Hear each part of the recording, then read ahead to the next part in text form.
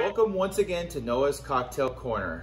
In the last few weeks, I've been getting a lot of requests for the Pretty in Pink drink.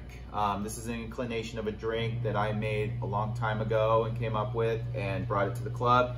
And it's more for the ladies. They do love it. It's look, guys, we can put an umbrella or something in there. We'll still make it look cool. We'll put it in. We'll put it in a big glass instead of a martini glass.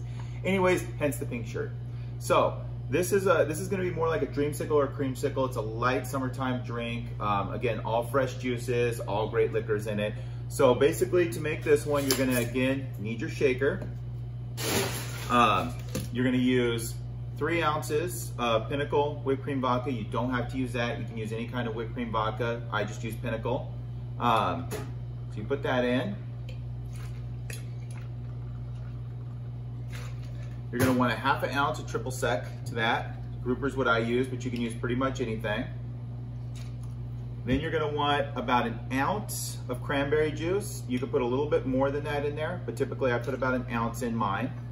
And then some sort of sweet and sour mix. Now you can make this at home with a little bit of water, some fresh lemons and limes, and a little bit of sugar. Uh, but you can also buy it in the store too if you don't wanna do it. You can also use the Simply products in the store, Simply Limeade or Simply Lemonade, and it'll get you basically the same result. Probably be a little sweeter, but it'll get you the same result.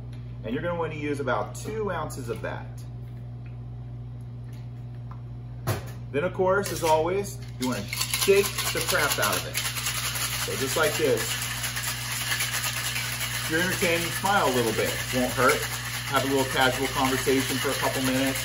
And then basically, you're just gonna take it, and pour it out. It should obviously have the pinkish color. Uh, if it's more red, you put in too much cranberry juice, no bueno. So that's gonna be the pink lady, or pretty, I mean pretty in pink. Enjoy and cheers to all of you.